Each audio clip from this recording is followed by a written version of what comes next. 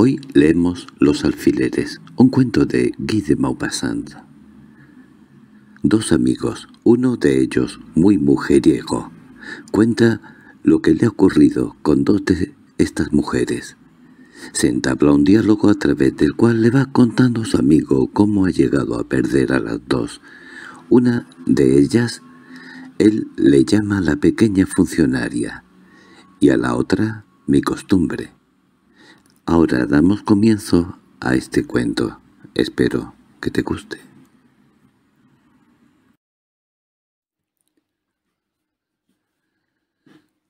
Los alfileres Cuento de Guy de Maupassant ¡Ay, amigo mío! ¡Qué marrajas son las mujeres! ¿Por qué dices eso? Es que me han jugado una pasada abominable. ¿A ti? Sí, a mí. ¿Las mujeres o una mujer? Dos mujeres. ¿Dos mujeres al mismo tiempo? Sí. ¿Qué pasada? Los dos jóvenes estaban sentados delante de un gran café del bulevar y bebían licores mezclados con infusiones hechas con todos los matices de una caja de acuarelas. Tenían más o menos la misma edad, de 25 a 30 años. Uno era rubio y otro moreno. Tenían la semi-elegancia de los agentes inmobiliarios, de los hombres que van a la bolsa y a los salones, que entran en todas partes, viven en todas partes, aman en todas partes, el moreno prosiguió. «Te conté mis relaciones, ¿verdad? Con aquella burguesita encontrada en la playa de Tipi». «Sí, amigo mío, ya sabes lo que pasa. Yo tenía un amante en París, alguien a quien amo infinitamente, una vieja amiga, una buena amiga, una costumbre, y, en fin, y la quiero conservar. ¿Tu costumbre? Sí, mi costumbre y a ella. Está casada también con un buen muchacho, a quien quiero igualmente, un chico muy cordial, un auténtico camarada, en fin, una casa donde había alojado mi vida. ¿Y qué? ¿Y qué?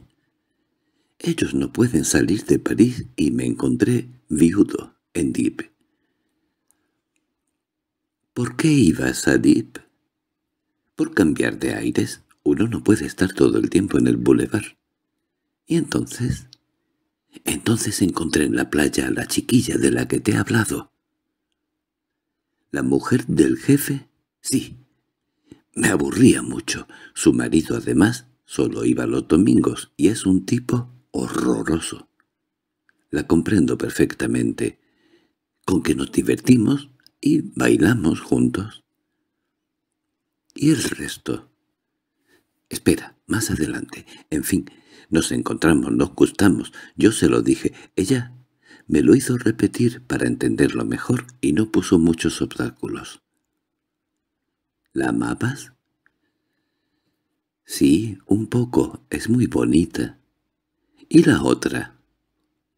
La otra estaba en París. En fin, durante seis semanas la cosa marchó muy bien y volvimos aquí en los mejores términos.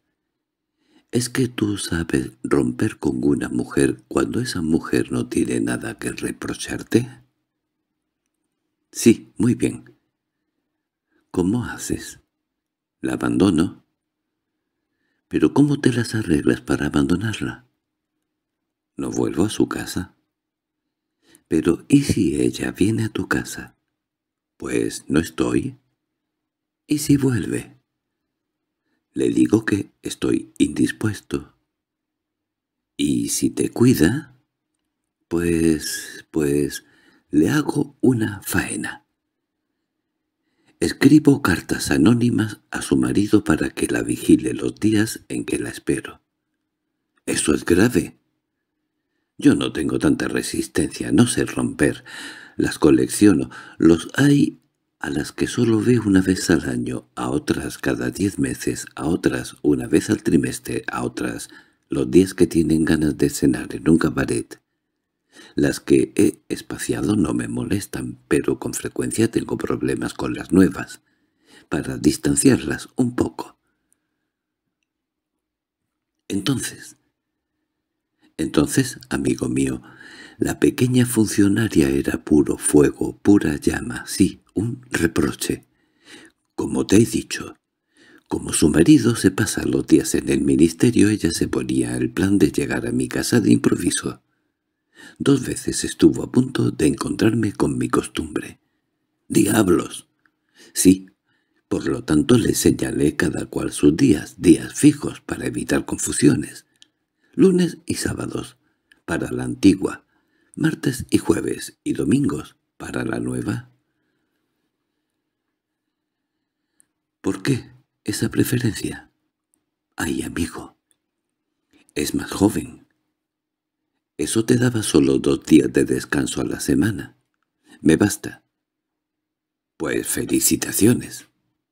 Ahora, bien, figúrate que me ha ocurrido la historia más ridícula del mundo y la más fastidiosa. Desde hace cuatro meses todo marchaba perfectamente, dormía a pierna suelta y era verdaderamente feliz cuando de pronto... El lunes pasado, todo se derrumba. Yo esperaba a mi costumbre a la hora convenida, la un y cuarto, fumando un buen cigarro. Soñaba despierto, muy satisfecho de mí mismo, cuando advertí que la hora había pasado. Me sorprendió porque ella es muy puntual, pero pensé en un pequeño retraso accidental. Sin embargo, pasa media hora. Después una hora, hora y media, y comprendí que cualquier causa le había retenido quizá una jaqueca o un inoportuno. Son muy fastidiosas esas cosas, esas esperas. Inútiles, aburridísimas e irritantes. En fin, me resigné. Después salí de casa y, no sabiendo qué hacer, fui a verla. La encontré leyendo una novela. —¿Qué ocurre? —le dije. Respondió tranquilamente Querido, no he podido, algo me lo impidió. ¿El qué? Pues mis... mis... mis ocupaciones. ¿Pero qué ocupaciones? Una visita muy pesada. Yo pensaba que no quería decirme la verdadera razón y como estaba muy tranquila me inquietaba aún más.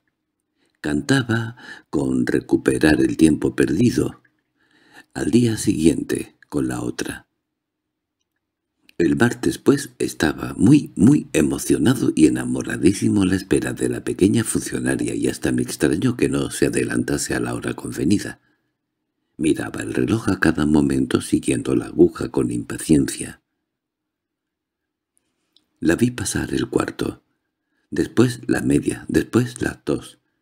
No podía estarme quieto, cruzaba grandes zancadas mi habitación, pegaba la frente a la ventana y la oreja a la puerta para escuchar si subía la escalera.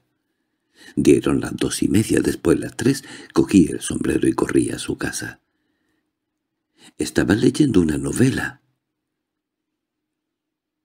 —¿Qué ocurre? —le dije con ansiedad.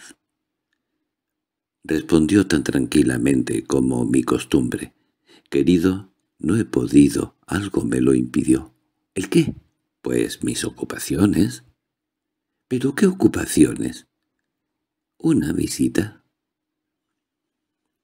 Supuse inmediatamente, claro que lo sabían todo, pero ella parecía tan plácida, no obstante tan pacífica, que acabé desechando mi sospecha para creer en una extraña coincidencia pues no podía imaginar semejante disimulo por su parte. Y tras una hora de amistosa charla interrumpida, además por veinte entradas de su hija, tuve que marcharme muy fastidiado. Y figúrate que al día siguiente... ¿Pasó lo mismo? Sí, y también al otro día, y la cosa duró tres semanas, sin una explicación, sin que nada me revelase el por qué esa extraña conducta cuyo secreto sospechaba, no obstante. ¿Lo sabían todo? Pues claro, pero ¿cómo? Ah, fue un suplicio hasta que lo averigüé. ¿Cómo lo supiste por fin? Por carta. El mismo día, en los mismos términos. Me despidieron definitivamente. Pero... Ahora verás. Ya sabes, amigo mío, que las mujeres llevan siempre encima un ejército de horquillas y alfileres. Las horquillas las conozco bien, desconfío de ellas y vigilo. Pero los alfileres son mucho más pérfidos. Esos malditos alfileritos de cabeza negra que nos parecen todos iguales porque son muy brutos, pero que ellas distinguen como nosotros distinguimos un caballo de un perro. Ahora bien, parece que un día mi pequeña funcionaria había dejado uno de esos chismes revelaciones pinchado en una colgadura junto al espejo. Mi costumbre, al primer vistazo había visto en la tela ese puntito negro como una pulga y sin decir nada lo había cogido y después había dejado en el mismo sitio uno de sus alfileres, también negro, pero de un modelo diferente. Al día siguiente la funcionaria quiso recoger el suyo y enseguida reconoció la sustitución. Entonces le entró una sospecha y puso dos cruzados. La costumbre respondió a esta señal telegráfica con tres bolas negras, una encima de otra. Una vez iniciado este trato siguieron comunicándose sin decirse nada, solo para espiarse. Después parece que la costumbre más osada enrolló a lo largo de la puntita de acero un delgado papel donde había escrito Lista de correos Boulevard Males Herbes Entonces se escribieron. Yo estaba perdido. Comprenderás que eso no fue lo único entre ellas. Se comportaban con precaución, con mil ardides, con toda la prudencia precisa en tales casos, pero la costumbre tuvo una idea audaz y le dio una cita a la otra. Lo que se dijeron lo ignoro. Solo sé que pagué las consecuencias de su conversación y aquí me tienes. ¿Eso es todo? Sí. ¿No la sigues viendo? Sí, como amigo. No hemos roto del todo. ¿Y ellas?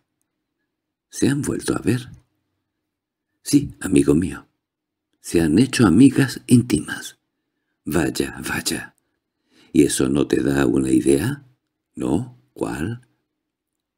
Pedazo de bobo. La idea de hacerles clavar alfileres dobles. Fin